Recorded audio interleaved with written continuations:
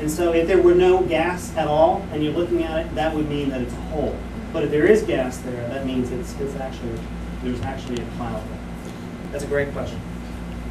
And here's the answer. We can see um, emission from these clouds in two ways. We can look at the molecules that are part of the gas cloud, or we can look at the very cold dust. Now, dust is very cold. It emits not in infrared wavelengths, but in millimeter wavelengths in the radio. It's, it shines mostly in the radio if it's, if it's 10 degrees or so. And so one of the first things we did was to make a, a survey of all these black spots on the sky at millimeter wavelengths looking for cold dust. So this is the tracer of cold dust. This is black body emission from cold dust. This is colder and darker It is, it's the same material, but it's colder. And it's, there's, there's a bigger collection of it. So the, the idea is that most of the dust in the Milky Way is heated up by stars, and it glows in the infrared. But if you have a really cold patch in front of it, that will be, that will block the light coming from behind it. Now, isn't that like uh, in the colder regions like that where it starts to get a little more dense? The um, I think I remember reading or hearing something where the a lot of the um, dust particles actually start to stick together. They do. and they become very efficient at blocking. Absolutely, from yes. Infrared to uh, to ultraviolet.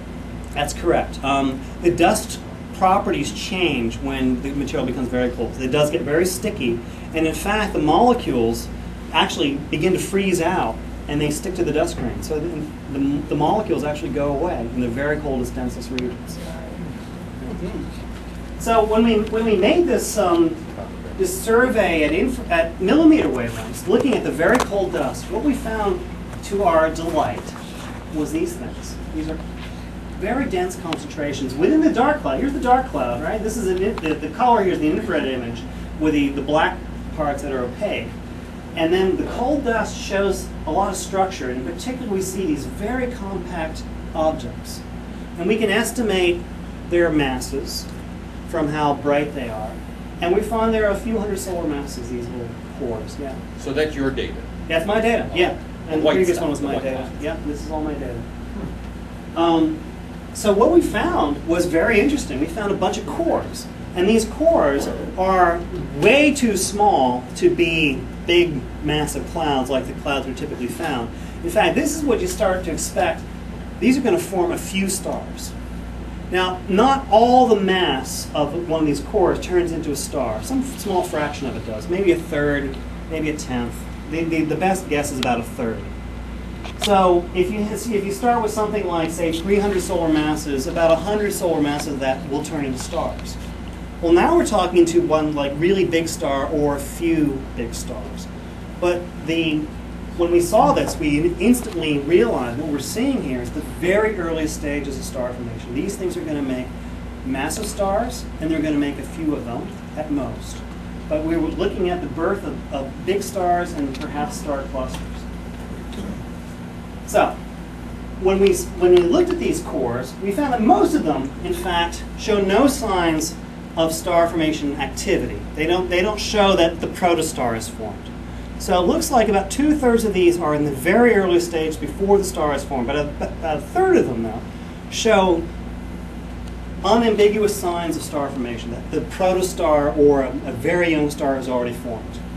The evidence for that is we see fast motions, we see certain molecules that only form under those conditions, silicon monoxide as an example, and we see these embedded bright objects that are bright in the infrared.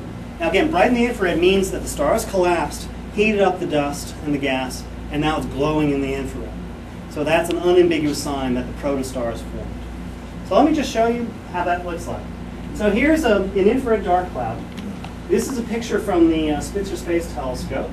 Um, I was a co-investigator on this project. And what we're showing here, here is um, three different, we're, we're, we're showing three different uh, images superposed. The 3.6 micron image is shown in blue, the 4.5 micron is shown in green, and the 8 micron is shown, that should be red, sorry. Red. Normal star show is blue. And in this particular infrared dark cloud, here's a core where absolutely nothing is happening. There is nothing going on here. And we took um, spectra of molecular lines using the IRAM 30 meter telescope in Spain, just to see what's going on with the molecular line emission. So the point of this is that we did our homework. We, we took a lot of data. But when we look at another core, this core is active. Previous core, there was nothing going on. This is a quiescent core. This is an active core where star formation is happening. What we see is this interesting green color in the um, this infrared rendition. And this is still a mystery why it's green. But we see green stars or green fuzzy objects toward these cores all the time. And we have coined the term, and I'm really delighted this is now appearing in the literature, green fuzzies. Again, the stars are very clever things. Um, but these active cores show an amazing signs of star formation. There's just unambiguous that star formation is going on. These spectra look a lot different than the spectra I've shown you before. You see these green fuzzies, you see other things. Do you have a question? What's the scale of that object? Oh, this is about oh, half a parsec. Parsec i- i- is the is the radius of, About of- of the less, Earth- yeah. Earth's orbit. No, no, the Earth's orbit is uh, one astronomical. The, the a parsec is two hundred thousand astronomical units. Okay. It's about hundred thousand AU. Okay. Okay. Yeah. The contour lines are. This is the mil- This is the cold dust. This is the millimeter continuum emission. Now this shows the cold dust. Yeah. How long after the protostar forms do you, do you get nuclear emission? Boy, that's a good question. We don't know. Um, I've seen guesses ranging from 10,000 years to um, 10 million years. So it's, it's an open question. I think it's actually uh, longer than people think. I think it's more toward the million year range than the 10,000 year range. Maybe a few hundred thousand years is probably the best guess right now. But it's, it's, it's, it's, it's difficult to tell. Mean, God, I wish I could watch a star form, turn on my stopwatch, wait 100,000 years and say, okay, that's it. so it's a very difficult question to. And, and what are Yeah. these velocities?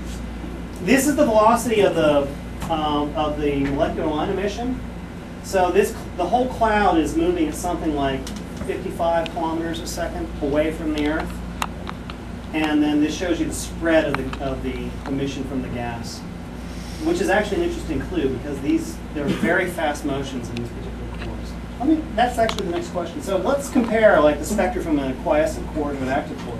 There's nothing happening in this star forming region. There's absolutely nothing. And you see a little bit of, you know, this is a this is the molecule carbon monosulfide.